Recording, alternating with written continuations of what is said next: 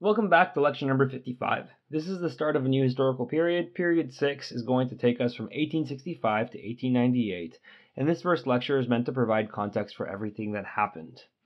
The learning objective is explain the historical context for the rise of industrial capitalism in the United States. The rise of industrial capitalism is going to be one of the biggest developments of period 6, and it's going to affect various other parts of society. The first key concept says technological advances, large scale production methods, and the opening of new markets encouraged the rise of industrial capitalism in the United States. This answers the learning objective as directly as possible. One of the biggest technological developments of the period that has a larger impact on various industries is the Bessemer process. This was a better and cheaper way to make steel. Steel drove this industrial expansion with the construction of railroads and factories. The opening of new markets refers to the markets in the west of the United States. A transcontinental railroad was completed in 1869, and markets between California to the Midwest and the East Coast are all now connected. It speeds up the ability to purchase and transport goods, and that leads to people purchasing more goods and subsequently economic expansion. There are also more people buying products overseas. The United States leans on Japan to open itself to outside trade so that the American producers can sell more of their goods. American businessmen had similarly ventured into Hawaii to grow products that Americans would buy. Their quest to maintain a profitable trading relationship with the U.S. resulted in the overthrow of the Hawaiian monarchy and annexation of Hawaii by the U.S. This new era of industrialization is characterized by large businesses with mega rich owners. Depending on who is describing them, they might be referred to as captains of industry or robber barons. Captains of industry credits them for their leadership in expanding the U.S. economy, while robber barons criticizes them for making their fortunes on the backs of the poor working class. Examples of these are Andrew Carnegie in the steel industry, J.D. Rockefeller in oil, and J.P. Morgan in banking. The political cartoon on the bottom right of the screen definitely takes on a negative view of them as robber barons while they sit on bags of money and their barge at sea is held up by the workers. The next key concept says large scale industrial production accompanied by massive technological change, expanding international communication networks, and a pro growth government policies generated rapid economic development and business consolidation. Similarly to the first industrialization period in the 19th century, technological innovations drove the industrial expansion. In the last slide, we mentioned the Bessemer process, but other important technological advancements include the use of electricity, the telephone, elevators, even consumer cameras. International communication also grew incredibly faster when a transatlantic telegraph cable was successfully established in 1866, reducing the time it took to communicate with someone in Europe from two weeks to two minutes. Pro growth government policies included government contracts given to private companies, like the ones to build railroads or supply American Indian reservations. Government subsidies were given to railroads in the form of land grants, and the absence of corporate regulation in itself could be considered a pro business policy. Economic development is going to be very widespread in the North, as it is where most of the manufacturing and industrial centers were located after the Civil War. The map on the slide shows the wealth in the United States in 1872. The darker yellow areas are more wealthy, and the lighter areas are less wealthy. The South was still struggling during and after the Civil War and Reconstruction. There were proponents for a new South to bring the South into this industrialization age, but it didn't quite work. Business consolidation means that companies are getting larger through buying and merging with competitors making monopolies. In the steel industry, the oil industry, and the railroad industry, there are monopolies and they're able to consolidate through the process of vertical and horizontal integration. In vertical integration, they control every step of the process of making one product, while in horizontal integration, they are able to control the entire market share for one product or one industry by buying up other competitors. The next key concept says a variety of perspectives on the economy and labor developed during a time of financial panics and downturns. The economy in the late 19th century generally worked to benefit the people in the urban areas, primarily entrepreneurs and factory owners, but real wages for workers also increased during this time period. Farmers and people living in rural areas were in a less desirable position. Farmers took on large debt to expand their planting acreage or update their farm equipment to keep up with competition. The technological improvements in farming led to higher crop yields, and with a higher supply of crops sold at market, prices fall. Farmers increasingly took on more debt and were less able to pay it back. Deflation meant that the value of the dollar was more valuable because there was less of it in the economy. Farmers therefore advocated for an inflationary policy, which meant that they wanted more money to be put into the money supply, and thus the value would go down, making it easy for them to pay back their debts. They proposed doing this by coining silver in addition to gold and using paper notes or greenbacks not backed by gold or silver. Greenbacks had been used in the Civil War to quickly pay for war materials, but once the war ended, the U.S. shifted away from the use of greenbacks. While this policy would have helped farmers with large debts, it was opposed by those who already had a lot of money because it would decrease the value of the money they already had. Labor refers to those working in industrial factories for hourly wages. Conditions in factories were generally difficult and sometimes unsafe. The standard working day was 12 hours long and worked for six days a week. The wages were generally low, but cost of living consistently went down through the end of the 19th century. New labor unions begin to mobilize on a national scale to advocate for the interest of workers and advocate shortening working hours, safer conditions, and higher pay. The first example of this is the National Labor Union. The Knights of Labor were the next major union, and they accepted all types of workers across various industries skilled, unskilled, men, women, white, or black. They began to lose members after violence and an explosion at a large strike in Chicago, the Haymarket Square strike. The American Federation of Labor takes over as the largest labor union after the Knights of Labor, and it's still around today in the form of the AFL CIO. They are, as the name suggests, a federation of labor unions. That means that it's not individuals who join, but it's various labor unions that join this larger federation of unions. For financial panics, there are two really big ones in 1873 and 1893. Panics in this time are going to be caused by over speculation on land and railroad company stocks. As people believe that the value of these two will endlessly go up, they create bubbles, and when the bubbles burst, people lose on their investment, which negatively affects the economy. The next key concept says new systems of production and transportation enabled consolidation within agriculture, which, along with periods of instability, spurred a variety of responses from farmers. The mechanization of farming makes it faster to plant and harvest crops, leading to farmers expanding the size of their plots. It also becomes more expensive to be a farmer as they have to buy more land and new machinery to compete with the growing commercial farms, and it leads to growing indebtedness. As was mentioned earlier, higher crop yields leads to a drop in crop prices, so farmers have a harder time to pay back their debts. Their response to diminishing profitability of farming is to just plant more crops since it's the only logical option they perceive, and it creates a cycle of lower prices. In response, farmers get together and create alliances and cooperatives to try and improve their condition. The first one is the National Grange of the Order of Patrons of Husbandry, or the Grange for short. They create cooperatives and built grain elevators to store grain before they sold it, or to hold it in storage until prices increased. The Farmers Alliance were more focused on bringing about political change by creating political parties or lobbying politicians to create legislation that would benefit the farmers. For example, farmers wanted the federal government to regulate the rates that railroads would charge farmers for transporting their crops, since there were virtually no other options for transportation and railroad monopolies could raise the prices as they pleased. The next key concept is the migration that accompanied industrialization transformed both urban and rural areas of the United States and caused dramatic social and cultural change. This period sees a dramatic rise in cities. This is where immigrants were settling, but it's also where people that were living in rural areas are now going to find wage labor. The population is growing faster than the infrastructure can really handle at this time and creates crowded and unsanitary conditions for those who live in cities. Tenements were the typical housing accommodation that was similar to an apartment building, but was designed to maximize the amount of units at the expense of bathrooms or ventilation. In tenements, city dwellers would pack anywhere from 6 to 10 people in one small room. Jacob Riis, who was an early reformer, wrote a book called How the Other Half Lives, which details the sordid conditions in the cities. In addition to the book, he includes photographs and illustrations of what the conditions were like in New York City. The two pictures on the screen of the alleyway and the tenement apartments are from Riis's book.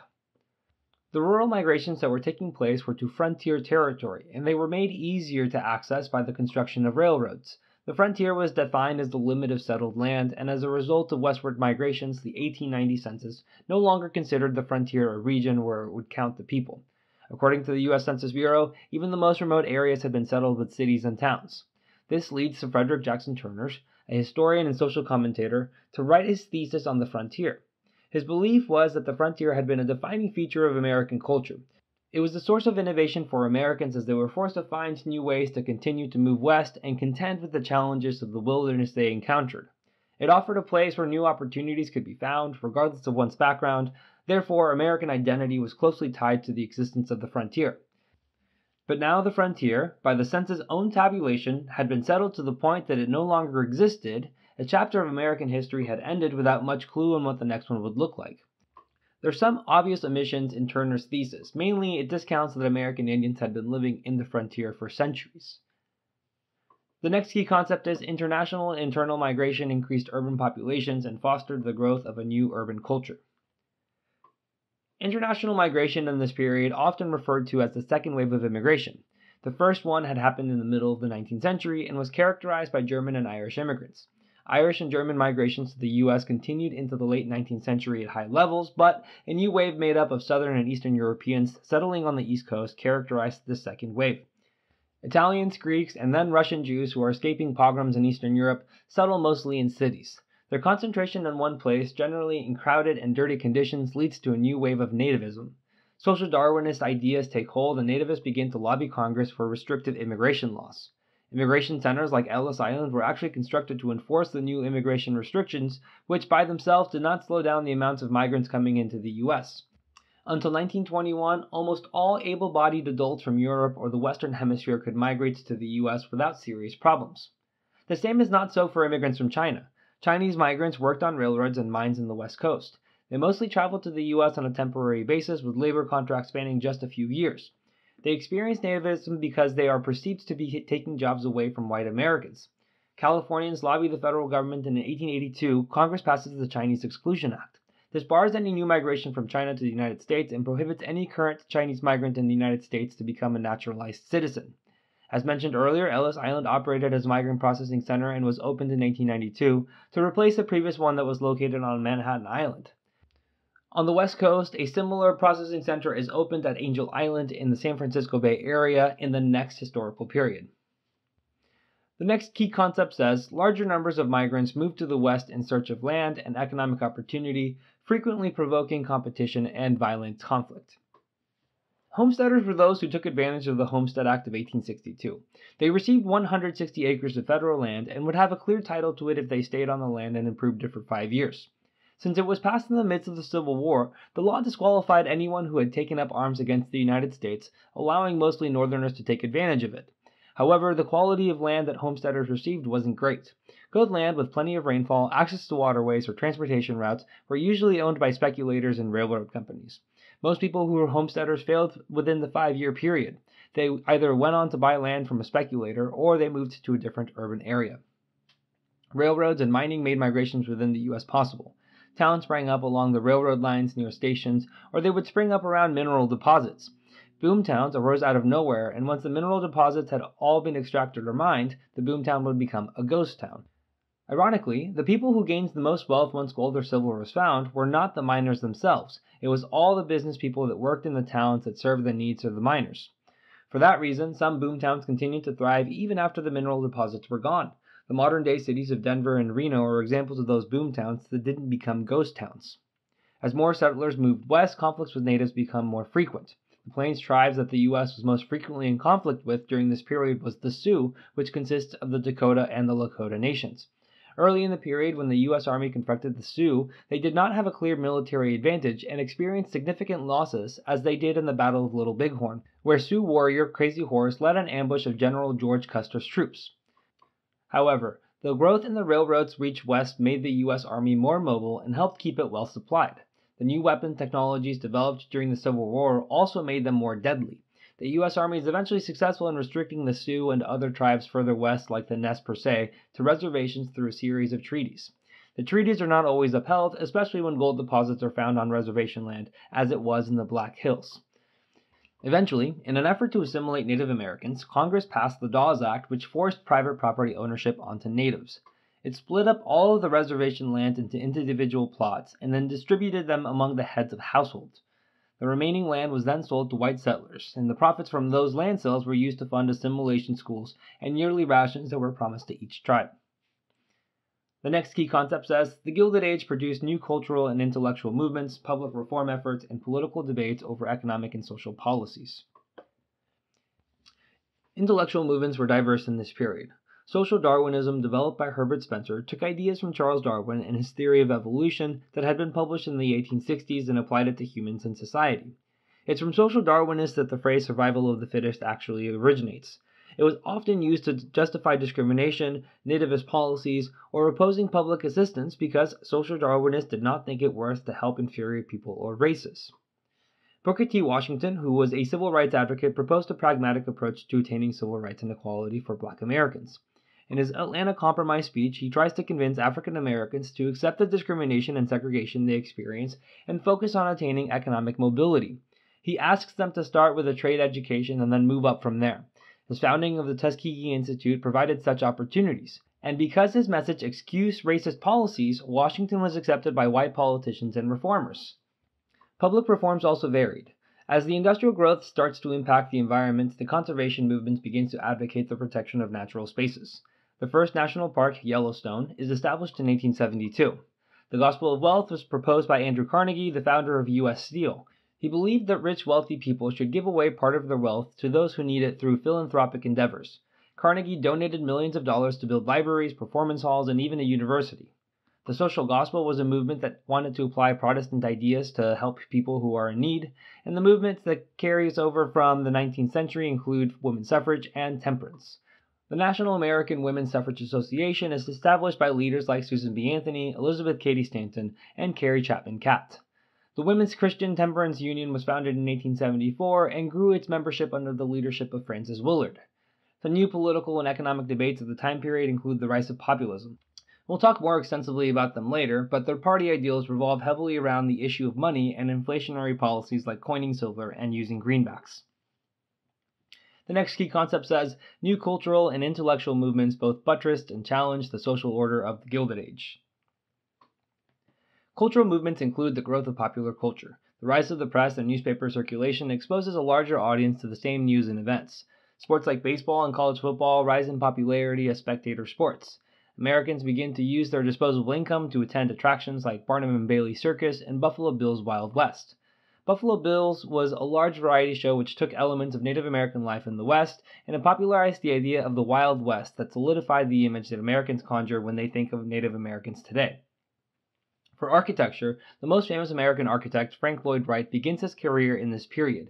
He and other architects begin to develop a distinctly American style of architecture called prairie style. In literature, there are various styles that become popular. Those are realism and naturalism. Mark Twain, who actually coins the term Gilded Age, is a great example of these realist writers. And Jack London, who wrote novels like Hatchet and White Fang, is a really good example of the naturalist writers. As part of literature, reformers wrote their appeals for change, as did Helen Hunt Jackson in her book A Century of Dishonor. She detailed how the United States government has treated Native Americans poorly for the past 100 years and advocates for a change of policy. Sadly, her solution that she proposes would be more like the policy of assimilation that would strip Native Americans of their culture. For intellectual movements, writers look for ways to solve new problems that arise during the Gilded Age. Progress and Poverty, written by Henry George, talks about how the cities and the current economic system continues to create a larger rift between the rich and the poor. The assimilation movement in this period was directed towards Native Americans. Indian schools like Carlisle Industrial School were meant to assimilate Native American children to become white citizens. It was started by Richard Henry Pratt, a U.S. Army veteran who summarized his goal in the following way kill the Indian in him and save the man. Finally, the last key concept says dramatic social changes in the period inspired political debates over citizenship, corruption, and the proper relationship between business and government. Segregation established by Jim Crow laws from the previous historical period are still in effect through all of the South and in some parts of the North. In this historical period, a Supreme Court case, Plessy v. Ferguson, upholds segregation as constitutional under the principle of separate but equal. Supreme Court Justice John Marshall Harlan was the lone dissenting judge. He had opposed the outcome of the civil rights cases from the previous period, which weakened the 13th, 14th, and 15th Amendments. Here he opposes Plessy v. Ferguson and says the following in his dissenting opinion. Everyone knows that the statute in question had its origin in the purpose not so much to exclude white people from railroad cars occupied by blacks as to exclude colored people from coaches occupied by or assigned to white persons. The thing to accomplish was under the guise of giving equal accommodation for whites and blacks, to compel the latter to keep to themselves while traveling in railroad passenger coaches. No one would be so wanting in candor as to assert the contrary. He was calling this policy of separate but equal racist. He said that it was very clear what the intention of the original law was, and that to try to deny it would be to try and fool oneself. Debates over immigration and nativism continued through this period. The debate centers around how long migrants should stay in the United States before they can become naturalized. The outcome of the debate could have political repercussions because it determines how long they have to wait before they can vote. When the key concept refers to corruption, it's almost certainly talking about political machines. They started to operate in the previous period, but grow in influence in this period. The most famous one is Tammany Hall in New York. There are movements for reforming these political machines for them to have less power and appointing patronage jobs. Only after President Garfield is assassinated by a job seeker does this law get passed, and it takes power away from political party bosses. The bureaucracy then becomes more of a meritocracy. During this period, industrialists and some in government argued that the federal government should adopt a laissez faire approach to the economy. This means that the government does not involve itself in the economy or try to influence it in any way through regulation. In reality, the government only took a laissez faire approach in the lack of oversight it exercised on corporations. The subsidies and government contracts it issued and the strike breaking activities suggest that the government was actually heavily involved in the economy when it was convenient to big business. Alright, that was a very long lecture, and this historical period itself is going to be long, but here is the recap of everything that happened. The economy quickly expanded due to technological innovations, and it created a class of mega rich captains of industry. The debates over the economy dominated labor unions and the new political parties. Immigration from abroad and rural areas grew the size and importance of cities. Expansion into the West brought on conflicts with natives. Diverse intellectual and cultural movements dominate with increased communication. And finally, reform efforts continue over segregation, women's suffrage, temperance, and corruption in government. Thank you for watching. If you would like to watch the next lecture, you can click on the video link on the screen. And if you're looking for more practice to help you on the AP exam, you can visit apushslides.com. I wish you the very best in all of your studying and look forward to seeing you back on the next lecture.